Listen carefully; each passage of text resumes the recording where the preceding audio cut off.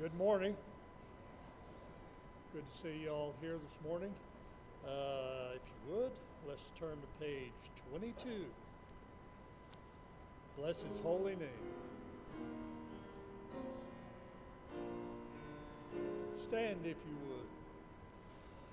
Bless the Lord, O my soul,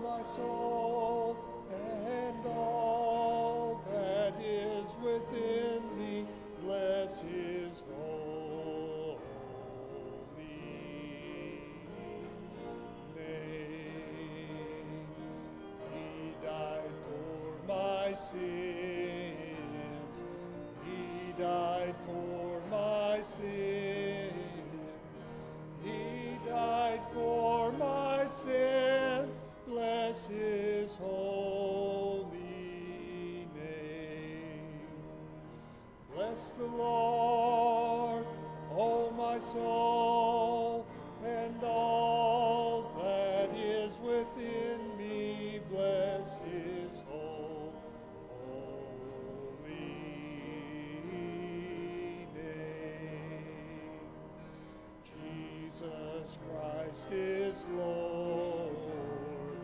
Jesus Christ is Lord. Jesus Christ is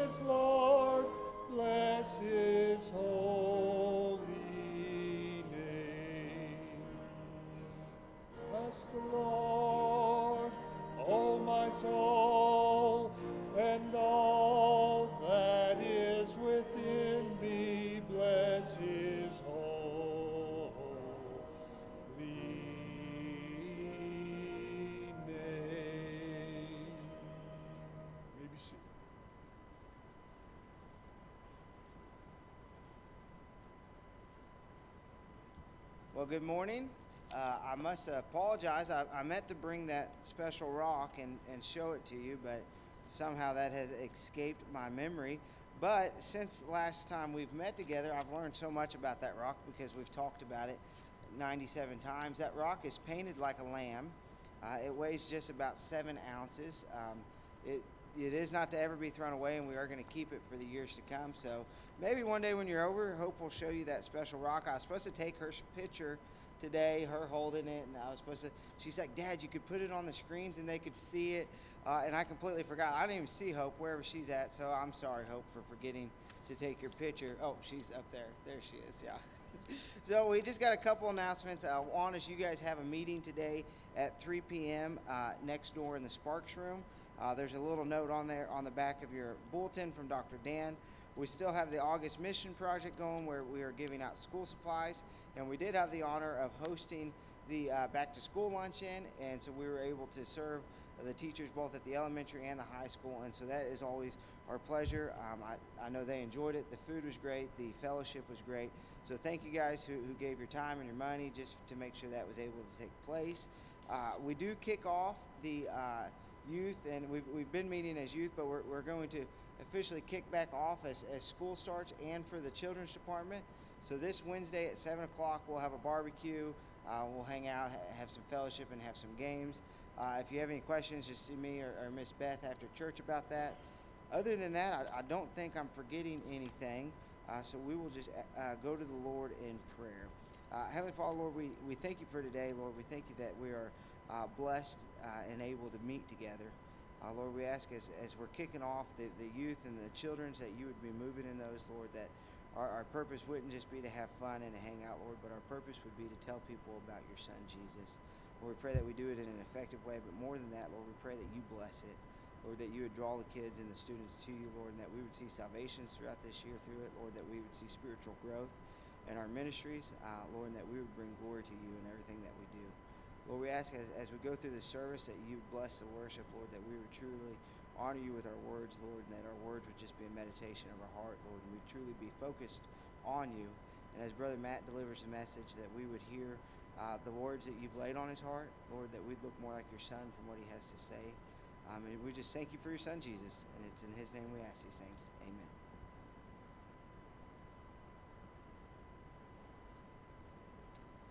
So as we continue, page 61.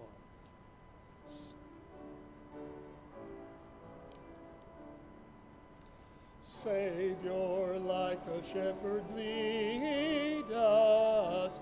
Much we need thy tender care. In thy pleasant pastures feed us. For our use thy folds prepare.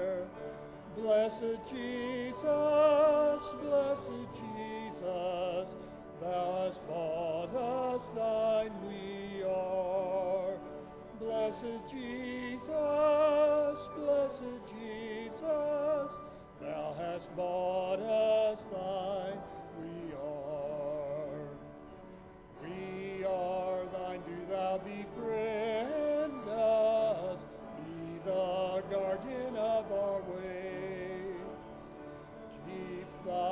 flock from sin, defend us, seek us when we go astray.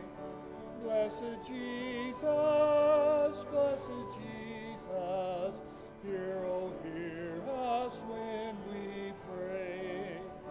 Blessed Jesus, blessed Jesus,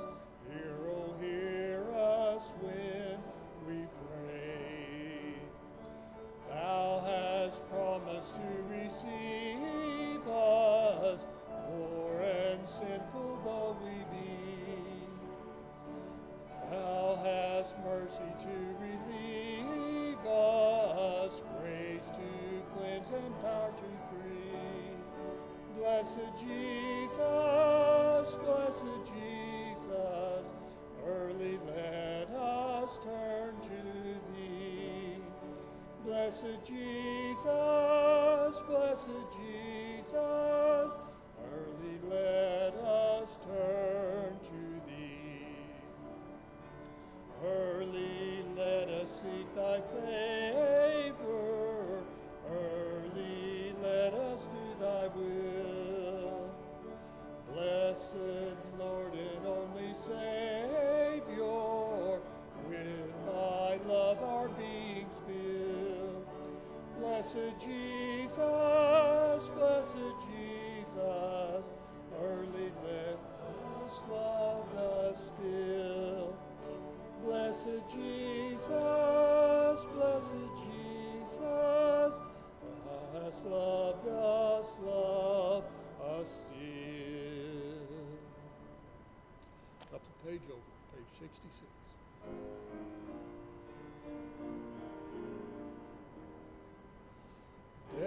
by day and with each passing moment,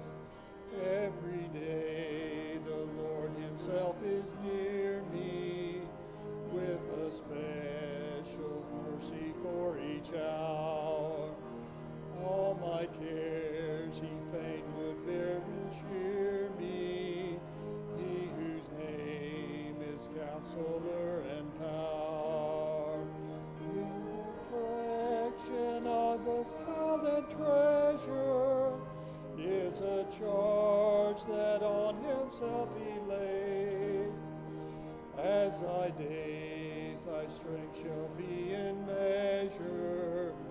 This the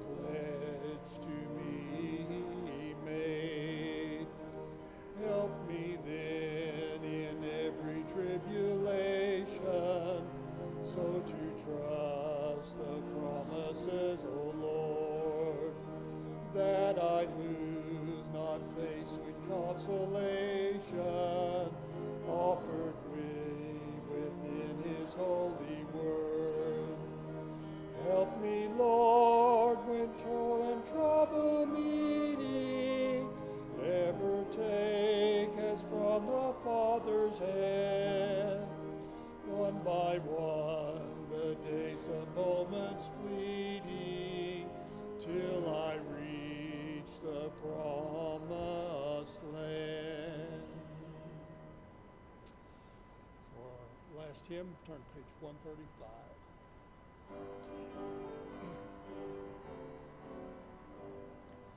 What can wash away my sin? Nothing but the blood of Jesus. What can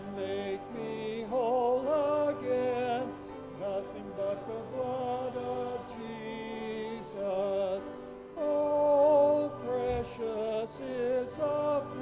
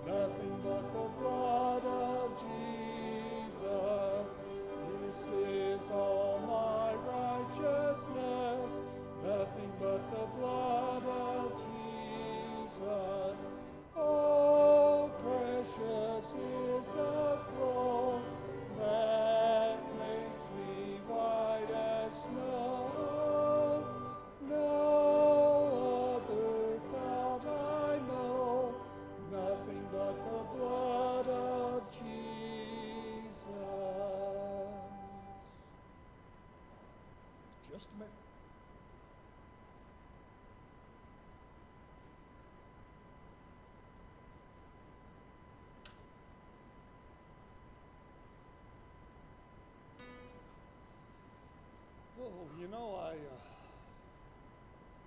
kind of sometimes, you know, you're going to do special music. You know, I don't even know what if I'm capable of special music or not, but it, but you know, it's sometimes it's hard to pick out a, a song. But uh, when you when you can't. Uh, don't know what to do. I guess we're just going to praise Jesus, huh? So uh,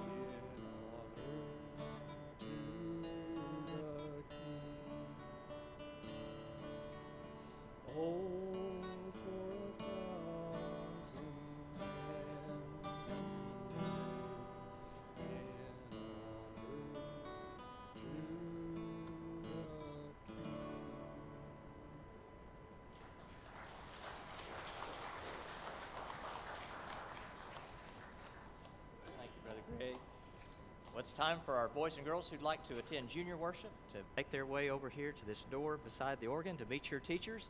And I invite the rest of you to take your Bibles and be opening them to the Gospel of John, chapter 3.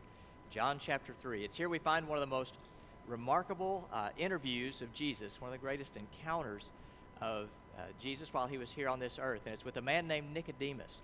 And we know some things about Nicodemus from our text. For one thing, we know that he was a, a very conservative religious man. Uh, he was very, very concerned about keeping the law of God and every bit of it. We know that because we're told he was a Pharisee. And the Pharisees were, were absolutely intent on keeping the Word of God. And they were so intent upon that that if the law said you shouldn't work on the Sabbath, they would make up rules to make sure they didn't work on the Sabbath. Uh, they made up rules about how far they could walk, what they could pick up, the kind of knots they could tie. It had to be something they could untie with one hand.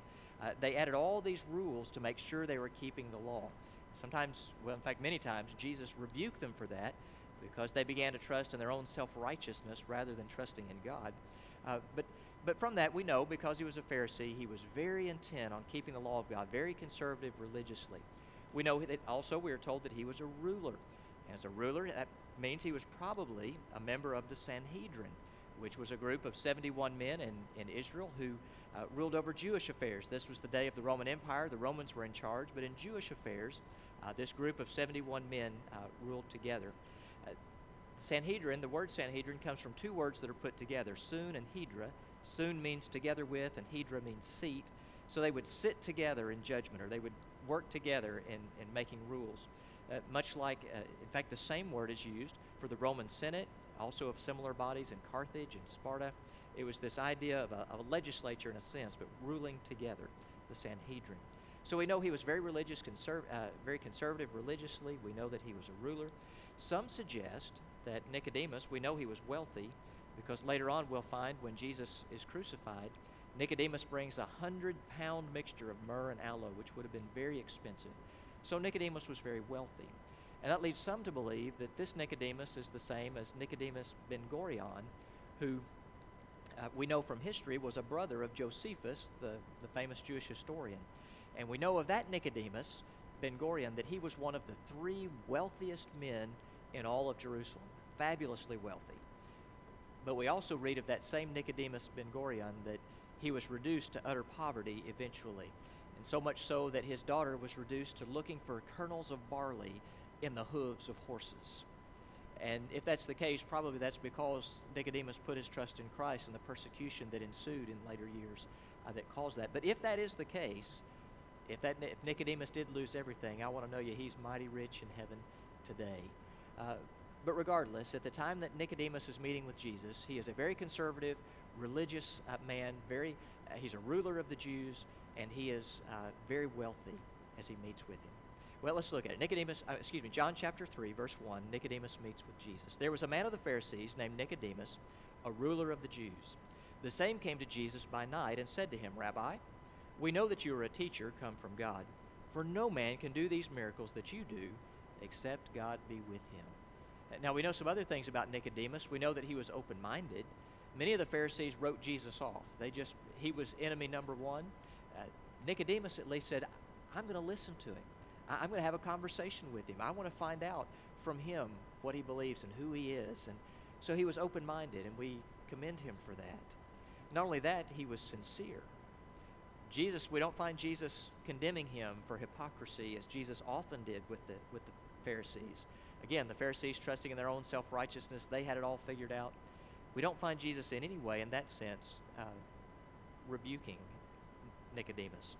So he was open minded, he was sincere, he was also courageous. Now, verse 2 says he came to, came to Jesus by night. Now, he came to Jesus by night under cover of darkness because he was a ruler. Everyone knew who Nicodemus was. He couldn't have just anonymously met with Jesus. If he had met with Jesus openly, everybody in town would have been talking about it.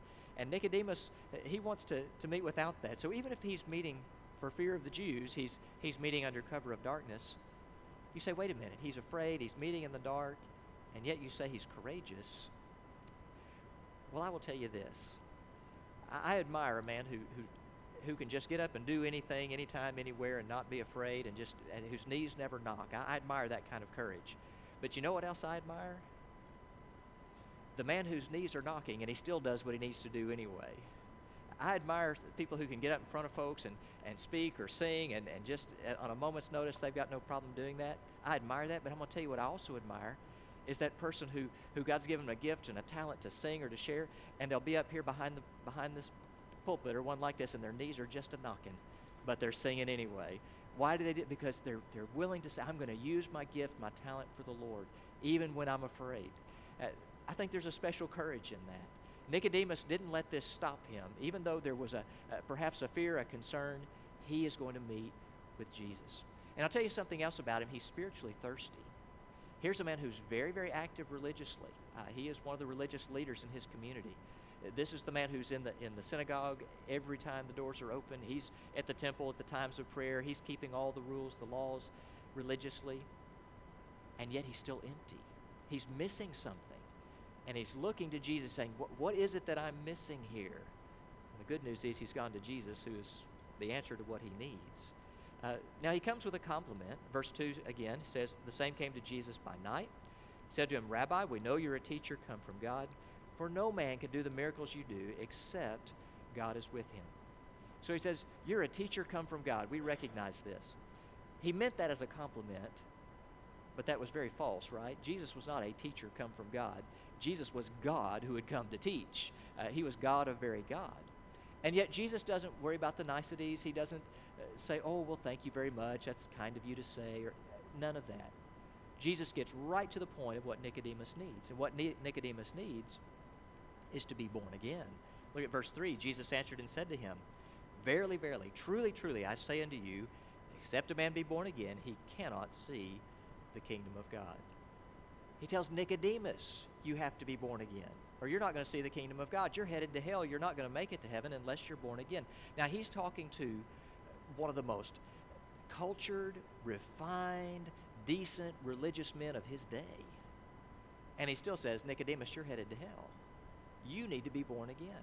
That ought to be a warning for all of us, right? It's not just about, well, he goes to church and he's involved and he's at Sunday school and he comes to prayer meeting or he uh, he's, he's lives a good life and he's an honest, honorable man. Look, you can do all of those things and still split hell wide open. God's speaking to Nicodemus, a, a, a wonderful man, and saying, You need to be born again. It's the only way. So, what is this born again? What does that mean?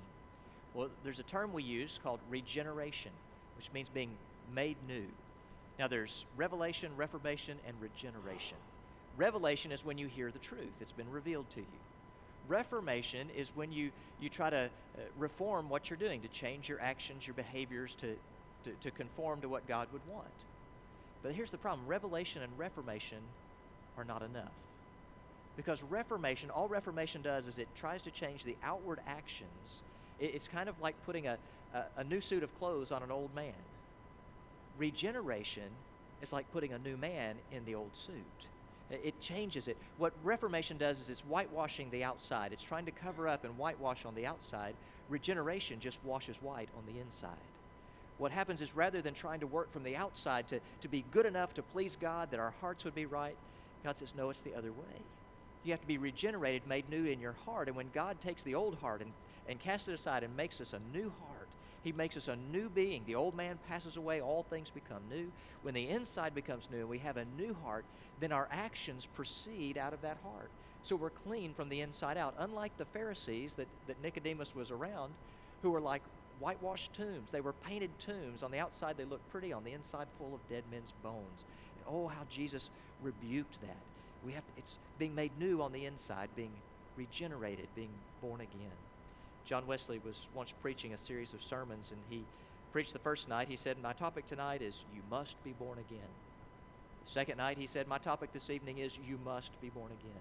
The third night, he came back, and again, he announced his topic was You Must Be Born Again. Afterwards, somebody asked him, They said, Why do you keep preaching on You Must Be Born Again? And John Wesley said, Well, because you must be born again. It is the initial essential. It is, it is absolutely essential to be born again. Now, you're already in chapter 3. If you'll turn for a moment back to chapter 1, just a couple of pages, back to chapter 1, verse 11, we read a little more about this, this spiritual birth, this being born again. John 1:11 says, "He came unto his own, Jesus did, and his own received him not. But as many as received him, to them gave he the power to become the sons of God, even to them that believe on his name, which were born, here's this again, this idea of being born, spiritually born, which were born not of blood, nor of the will of the flesh, nor of the will of man, but of God. He said they're born not of blood. This birth is not of blood. It's not something that we inherit from our parents. You say, well, my daddy was a preacher, or my granddaddy was a preacher. Well, I say, for salvation, that means nothing, right? we're all descendants of Noah, right? And Noah was, as 2 Peter 2 5 tells us, that great preacher of righteousness, and we're all descended from him. That doesn't mean we're all saved. It's not something that we inherit by blood from our parents. It doesn't matter if you can trace your roots to, uh, to Father Abraham or Noah or anyone else. It's not of blood, nor is it of the will of the flesh. It's not something that we can do with our physical self to say, I'm going to do lots of good works and good things, and I'll work my way to heaven. I'll be good enough by the works of my flesh. No, he says it's not of blood, nor of the will of the flesh, nor is it of the will of man. In other words, you say, well, that sounds all well and good, Pastor, that, you know, Jesus is the way, but that's your way. I'll, I'll get to heaven my way. No, you won't. No, you won't because you don't get to choose the way, and I don't get to choose the way. It's not of the will of man, but of the will of God. And God says there's only one way, and Jesus is the way, the truth, and the life, and no man comes to the Father but by him. And Jesus himself said, You are not even going to see the kingdom of God unless you are born again. That spiritual new birth. So, why is this new birth? Said, why does it matter that we're born again, that we're regenerated, that we're made new? Why, why does that matter? It has to do with the nature of heaven and what heaven is. I mean, we're never going to get into heaven until we get heaven into us. There's got to be something that changes in us. For instance, uh, fish don't live in the, in the air, birds don't live in the ocean. Why? It's against their nature, right? Well, you try to take a take an unregenerate person, someone's not been regenerated, and put them into heaven, they're not going to fit. They don't belong. It's it's it's kind of like you're never going to see a pig teaching astronomy. You're never going to see a cow building a house. It doesn't happen. It's against their nature. You're never going to see a little caterpillar, you're never going to see that caterpillar uh, travel 100 miles. You're never going to see that caterpillar flying through the air. But what can happen is that caterpillar can hole itself up in that little cocoon and it can become regenerated and made new. And when that cocoon opens up, it's a butterfly, and that butterfly can travel 100 miles. That butterfly can travel 1,000 miles. It can travel 1,500 miles, 2,000 miles. Some of those monarch butterflies travel as much as 2,800 miles, making their way down to those, those monarch butterfly sanctuaries down in Mexico. That little caterpillar could never have done that. That little caterpillar working on its own could have, I mean, try as it might, it could have inch by inch, it could have worked its way and try with all of its might, and it never would have made it one block. But as a butterfly, having been made new. That butterfly can fly through the air, and that butterfly can travel thousands of miles. That's what God does to us. He, he makes us something that we're not before. He, he regenerates us and makes us into a new person. That's why He says, You must be born again. It, it, it's a mystery. It's confusing to Nicodemus, as it boggles our mind too. But verse 4 says, Nicodemus said to him, How can a man be born when he is old? Can he enter a second time into his mother's womb and be born? So he said, okay, he, he's struggling with this idea of spiritual rebirth. And so Jesus explains it to him. He gives him two illustrations. He's going to compare it with physical birth, and then he's going to compare it with spiritual birth. First of all, he mentions physical birth, verse 5. It says, Jesus answered, Verily, verily, I say unto you, except a man be born of water and of the Spirit, he cannot enter into the kingdom of God. That which is born of flesh is flesh, and that which is born of the Spirit is spirit. So there's the, the physical birth and a spiritual birth. Now, just like in a physical birth, Birth brings life where there was none. When, when, when conception takes place and a new life begins, it's life that wasn't there before that now begins. When God, when we're born again, there's a spiritual life that wasn't there before that God uh, puts into us. It's something that involves two parents, just like physical birth. It take, requires two parents. The truth is, spiritual rebirth takes two. What happens is when the it's when the seed of the Word of God impregnates our heart that's what takes place. In fact, we read this. Eh, 1 Peter 1.23. We are born again. How are we born again? Not of corruptible seed, not of physical seed, but of incorruptible by the word of God which liveth and abideth forever. It's the word of God that gets into our hearts. So the Spirit of God takes the word of God and produces a child of God, that spiritual rebirth. So when the Word of God is preached, and, and some, some, uh, some man, some woman, some young person gets that down in their heart and begins to become convicted, and the Holy Spirit of God is working using the, the seed of the Word of God in that heart, that's when new life takes place. So it gives new life. It, it takes the, the, seed of the Word of God implanted in a human heart. It, faith comes by hearing, and hearing by the Word of God. And we know we're saved by grace through faith. That faith comes through the Word of God. But here's another thing we're only born once. You're only born one time. When you were born, they marked it on the calendar, they put it on a birth certificate pr- uh, probably, and every year when that date rolls around, you say, On this date, in such and such a year, I was born. And your birthday doesn't change from year to year, does it? One time. The same is true for our spiritual birth. God doesn't have to have to rebirth us spiritually over and over again. Spirit, He gives us that spiritual birth. And I would say this too and remind you that physical birth involves pain. Our spiritual birth also involved pain. It involved the pain of our Lord Jesus Christ who died upon the cross. And, and we'll take time to reflect and remember on that this morning with the Lord's Supper. So he gives the he get, kind of compares it to physical birth, but then he also says, look, but but there's a spiritual birth, and he refers to it as the wind. And it's interesting that the wind, we the spirit and the wind is kind of a play on words. You remember when the Holy Spirit came in Acts? Uh, how did it come? There's a mighty rushing wind that fills the place when the Holy Spirit comes. In the Old, Test, Old Testament Hebrew, we find the word ruach. Wind, spirit, and breath are all the same word, ruach. Same thing. And so there's kind of a play on that. So look at that. He compares it to the to the wind. Look at verse seven. He says, "Marvel not that I said unto you, you must be born again. The wind blows where it listeth, or wherever it wants, and you hear and you hear the sound thereof, but you cannot tell where it comes from or where it goes. So is everyone that is born of the Spirit. You can't see the wind, but you can see the results of the wind. You can see what the wind's doing. You can see what the wind's blowing. Same is true. You can't just look at a person and say, oh, there it is. I, I see the, the Spirit of God in them. But you can see the results, right? You can see a changed life. You, you can see something different about that person. Now, verse 9 Nicodemus answered and said unto him, How can these things be? Now, he's not saying, this is not incredulous, like, this isn't true. This can't be true. How can this be? No, what he's saying is, How can this be? How can I make this happen for me? I want this rebirth. I want to be this way. Verse 10 Jesus answered and said unto him, Are you a master or a teacher of Israel, and you know not these things?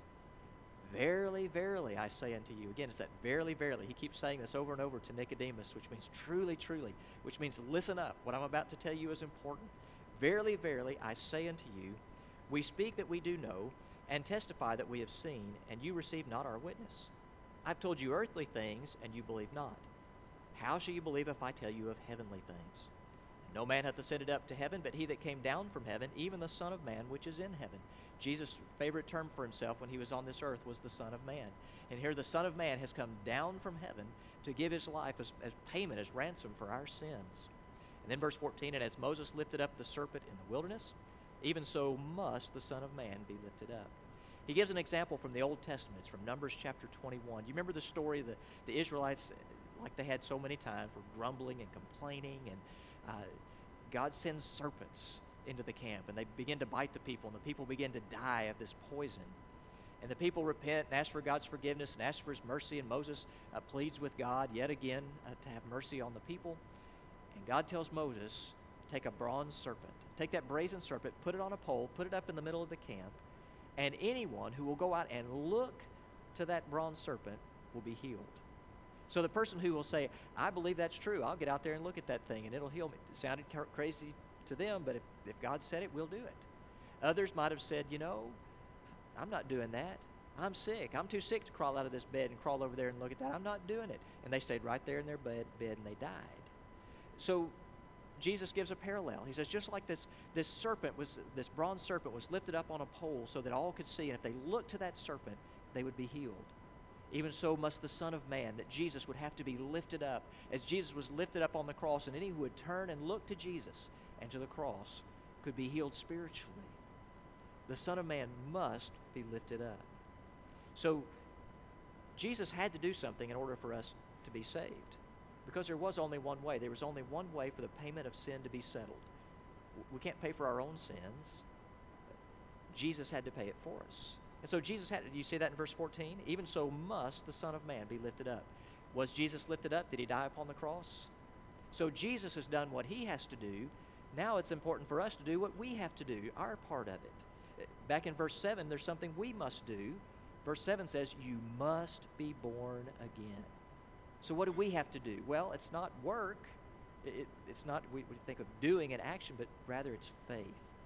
We come to verse 15 that whosoever believeth in him should not perish, but have eternal life. It's faith, putting our faith in Jesus, to believe in him so that we not perish and have everlasting life. And then we come to that, that wonderful nugget of Scripture, uh, John 3.16, as Jesus looks at Nicodemus and he says, For God so loved the world that he gave his only begotten Son, that whosoever believes in him should not perish but have everlasting life. It's all about the love of God and what He's done for us. For God so loved.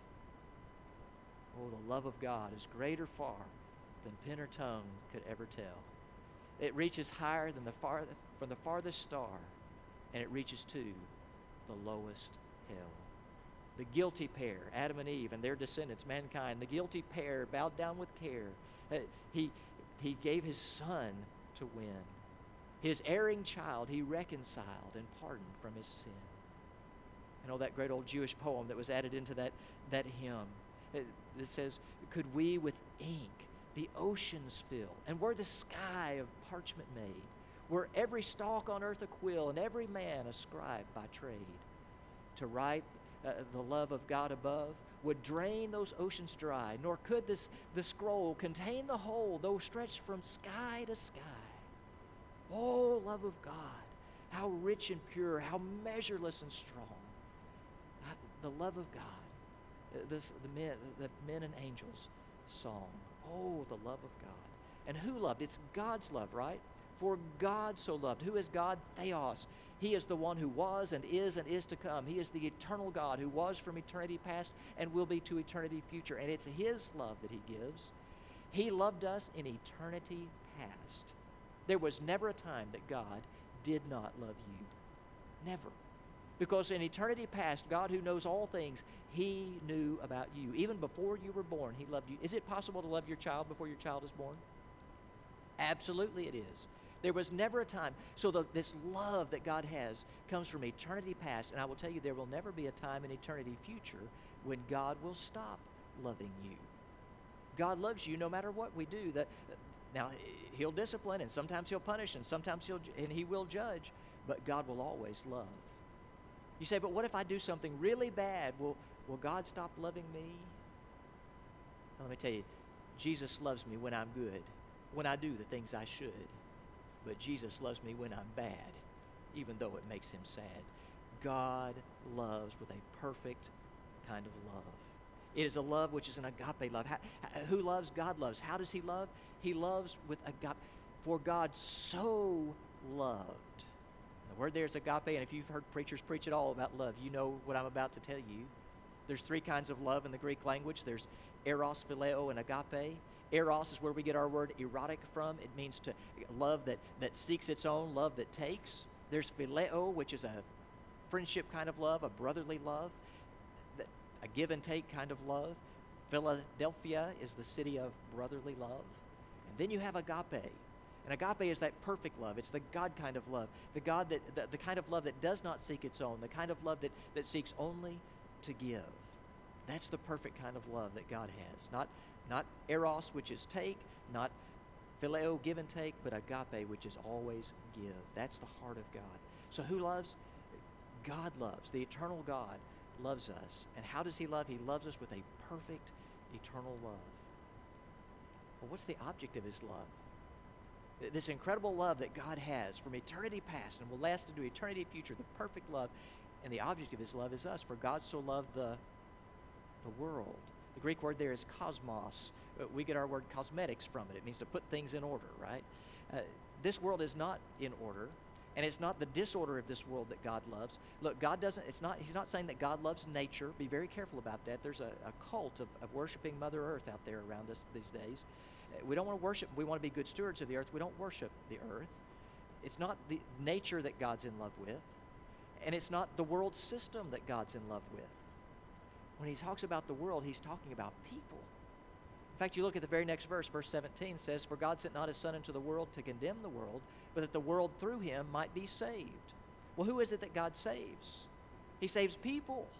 People, that's who he's loving. So, what he's saying is, God, this God has this incredible love from eternity past to eternity future, and he loves you and me. And then he says, again in verse 14, as Moses lifted up the serpent in the wilderness, even so must the Son of Man be lifted up.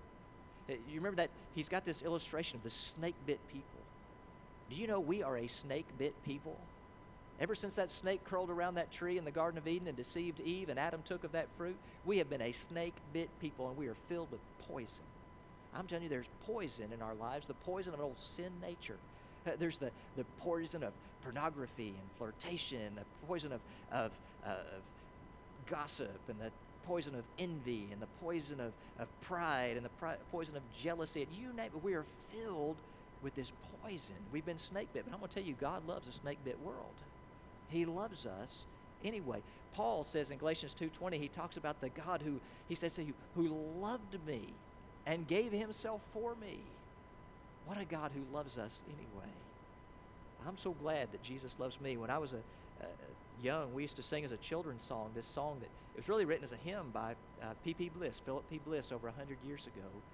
But it goes like this It says, I am so glad uh, that our Father in heaven tells of, the, of his love in the book he has given.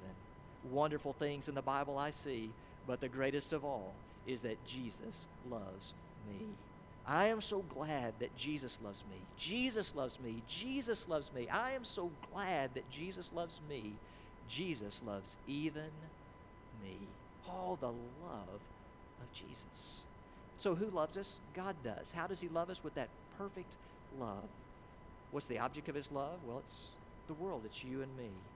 And how does He express that love? He expresses it through sacrifice just as a, as a parent who loves their child, what uh, was sacrificed for their children. Imagine a, a parent who has 10 children. Well, say they don't divide their love amongst 10 children, their love is multiplied by 10, right?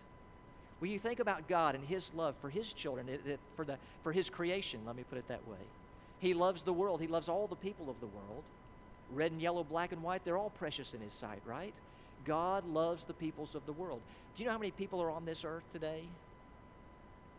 That's it's, it's going it's upwards towards 8 billion people 7.594 I think was the latest at least that's what Google says is on the earth their estimate. So about 7.6 billion people on the earth. Can you imagine multiplying the love of God times 7.6 billion people and yet he says he loves every one of them. Now add that to all the billions who've ever lived and, and all who ever will live. Add that all up and we begin to catch a glimpse of the incredible love of God. For God so loved the world, that he gave his only begotten Son. He loved the world, and he, he sends his own Son sac- as a sacrifice to pay the penalty for sin. The wages of sin is death. He sends his own Son, who is perfect, who has no sin of his own, to die upon the cross to pay the penalty for us. Now, you think about this. Uh, you say, well, he loves the whole world, but he loves each one of us. I like the way Augustine put it. Augustine said, God loves every one of us if, if, as if we were the only one of us. Uh, what parent uh, who, who wouldn't sacrifice and, and give their own life for their child to save the life of their child? And that's what we find here. God so loved the world that he gave his only begotten Son. 1 John 4 9, I just want to read this to you. 1 John 4 9 says, And this was manifested, the love of God toward us. This is how he shows us his love. Because that God sent his only begotten Son into the world that we might live through him. Herein is love, not that we loved God, but that he loved us and sent his son to be the propitiation for our sins. The propitiation, the, the thing that, that makes it right, the thing that fixes it. Jesus is what does that. And then he says in verse 14 of 1 John chapter 4, and we have seen and do testify that the Father sent the Son to be the Savior of the world. God sent his only begotten Son. Imagine going to a prison and you're, uh, you're visiting with folks, maybe you're uh, part of a Christian ministry and you're at the prison, you're visiting, and you, you see this person, this person just grabs your heart, and you think, oh, I wish this person didn't have to be in prison anymore. And you go, imagine going home and telling your child, hey, leave all your stuff behind. I'm about to send you to a new place. And you send your child to that prison to take the place of that prisoner so the prisoner can go home and your child has to serve out the sentence. Can you imagine that? Yet that's what Jesus did for us. God the Father sent Jesus to be our substitute. You remember when Abraham offered Isaac as a, as a sacrifice on the mountains of Moriah. And just as he was about to offer Isaac, uh, the angel stops him and says, do, do, do him no harm. And there in the bushes, there was that ram caught in the thicket to be a substitute. But when God the Father offered his son Jesus, there was no substitute. Jesus was the substitute. Jesus is our substitute, and he had to die upon that cross. In Romans 8:32 it says he that spared not his own son but delivered him up for us all. And what did he what did he deliver him up for? What did he give him up to? Well, the Bible tells us he gave him up to scourging. In Isaiah chapter 50 verse 6 the, the prophecy says I gave my back to the smiters and my cheeks to them that plucked the hair. I hid not my face from shame and spitting, from the scourging, the beating that he endured even the night before he was crucified. In Psalm 129 3, it says, The plowers plowed upon my back. They made long their furrows. Uh, the way they, they would take that, that flagrum, that, that whip with, uh, with leather strips, got one handle and some say probably the cat of nine tails, which the Romans used with nine different strips. And sometimes they would tie into that uh, pebbles or, or stones or glass or beads. And what they would do is they would take that and they would rip, they would hit it across the back and it would wrap around the rib cage and they would pull it and so, just like plowing a field, it would plow furrows in the back and just just rip holes in the skin and tear the skin off of the body. Jesus endured. He gave his son. God gave his son up, to, and Jesus endured and, and willingly accepted the scourging. But not only the scourging, also the cross. Romans 5 8, but God commendeth his love toward us, and that while we were still sinners, God shows his love to us while we're still sinners, Christ died for us dying in our place. When he died, when uh, we'll, we'll remember with the with the juice this morning, the blood of Jesus. Do you realize with with every drip of the blood of Jesus that that fell from his body, beginning with the blood that was dripping from his forehead there in the Garden of Gethsemane to the to the blood that poured from his side, the blood dripping off his body with every drip, drip, drip. What he was saying is, I love you, I love you, I love you, I love you. It was his love being poured out for us, giving his lifeblood for us, whom God set forth to be a propitiation, Romans 3:25 says, through his blood. It's the propitiation, the thing that makes it right, that fixes our sin problem.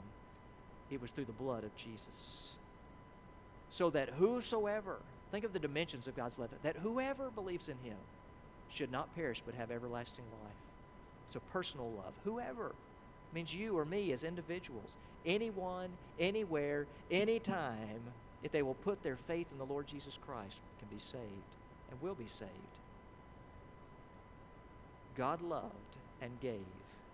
We believe and receive. You think of the love of God to do this for us. I, it's like the little girl who, who asked her mama, she said, Mama, what's in your heart?